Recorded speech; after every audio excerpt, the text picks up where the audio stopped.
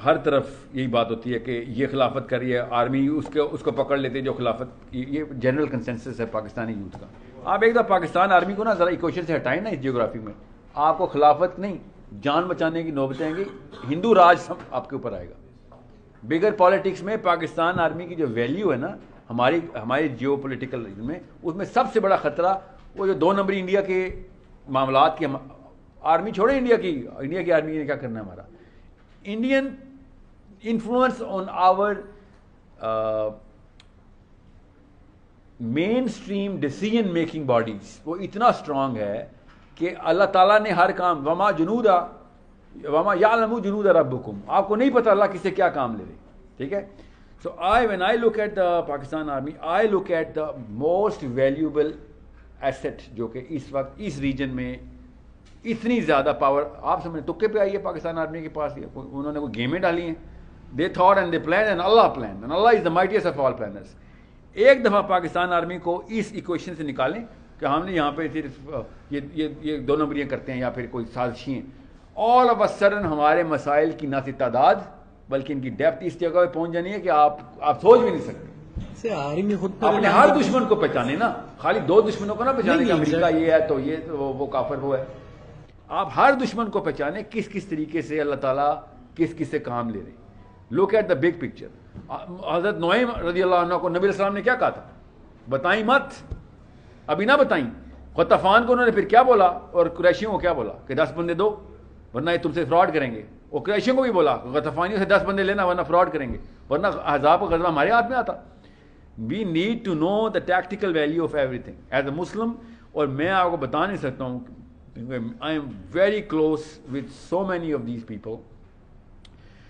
अल्लाह ताला ने आग जहाँ जहाँ लगाई भी है ना, आप हैरान रह जाएँगे। किस किस दिल में क्या क्या शोला अल्लाह ने जला के रखा। मैंने कहा ना, दिलों में काम हमारे हैं ही नहीं, वो अल्लाह के काम है। अल्लाह किस जगह पे टॉर्च ऑन करते हैं, बंदा हैरान होता है कि यार इधर से ये बात आ गई। ठीक है? मैं आप ही के शेख का एक वाक्य सुनाता हूँ कि जब उन्होंने कहा कि मैं जानता था एक दोस्त को अपनी यूनिवर्सिटी ऑफ़ कोलोराडो में ही कि शराब के नशे में दो दो लड़के अल्लाह रसूल डिस्कस कर रहे मुसलमान थे। और तीसरा शराबी सुन रहा है यूनिवर्सिटी के स्टूडेंट और तीनों शराब में वो नशे में सीरत सुना रहा उसको कि तू मेरे मज़हब में आ जा, तबलीग हो रही है। कोलोराडो की यूनिवर्सिटी में दो शराबी एक गोरे को कन्वर्ट कर रहे हैं, शराब पी के। कि मोहब्बत का असली दर्ज तो हमारे दीन में है और ये वो। और वो सुन भी रहा है। और दोनों मुसलमानों ने शराब नहीं छोड़ी, वो गोरा कन्वर्ट होके वन ऑफ़ द बिगेस्ट दाइज है इस वक्त। अल्लाह नशे के दौरान भी हिदायत दे रहे हैं अकले को। ठीक है, ये आप ही के शेख का वाक़ सुना है मैंने। वाई हमें नहीं पता ये कहानी क्या है। ये अल्लाह ने अपने हाथ में रखी है, किसके दिल को कब ऐसे करके फेरा, कब कहा, और हमने जज कर दिया, नहीं, तू दोस्त है। बिकॉज़ तू उस गली से निकला है। उस गली में तो सबज गुमद अली मस्जिद है।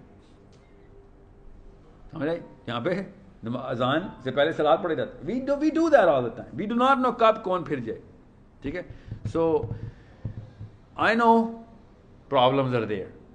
There is no doubt. It. But we can't be just, वही मैंने कहा ना, एक तरफ़ नहीं टिल्ट हो सकते हम, कभी भी हमें निगाह रखनी पड़ेगी नबी सलाम ने फरासत की दुआएँ करवाई हैं मुसलमानों से हमें फरासत की दुआएँ, फरासत से देखो, हर चीज़, फरासत का मतलब है कि विजडम निकालो उस चीज़ का। Understand the depth of knowledge not just the epidermal knowledge so don't be such an obtuse Muslim के मैंने बहुत दफ़ा देखा है और कि जब भी दीन की बात होती है, पाकिस्तान आर्मी के ऊपर एक ना कोई एतराज़ रहता है। I see such an amazing use of this this institute अल्लाह ताला ही कर रहे हैं। कि मैं आपको बता नहीं सकता हूँ हिस्ट्री पढ़े ना ज़रा इंडिया के साथ क्या मसाइल रहे हैं।